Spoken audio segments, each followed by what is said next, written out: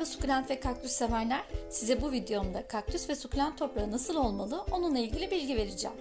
Sukulent toprağı yumuşak ve geçirgen, sulandığında çabuk kuruyabilecek bir toprak seçmelisiniz.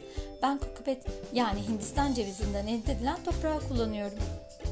Bu ise marketlerde satılan bitki toprağı. Ne kadar da sert, asla sert ve çamurlu toprak olmamalı. Kaktüsleriniz ve sukulentleriniz bu toprakta yaşaması mucize olur. Size kokopet toprağında benim karışımımı paylaşacağım. Beyaz ürünümüz perlit. Toprak düzenleyici ayrıca toprağın havalanmasını sağlar.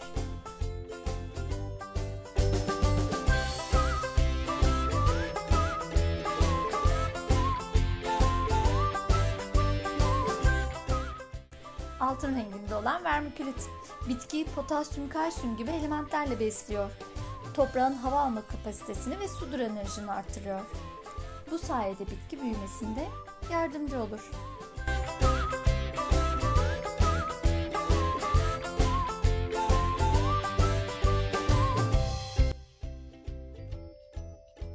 Kum, suyun drenajını artırıyor ve kaktüs sukulent kumlu toprağı çok sever. Çünkü toprağın çabuk kurumasını sağlar.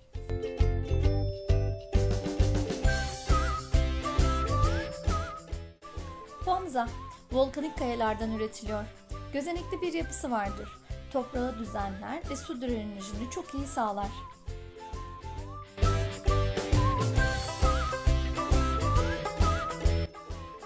Akıllı gübre tüm toprak karışımında kullanıyorum. Toprağın mineral ve vitamin ihtiyacını karşılıyor.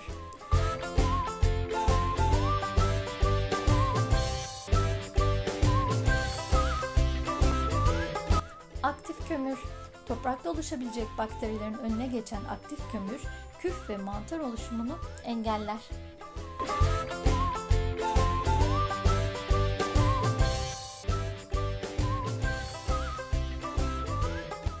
İzlediğiniz için teşekkürler. Sukulentli ve kaktüslü günler diliyorum.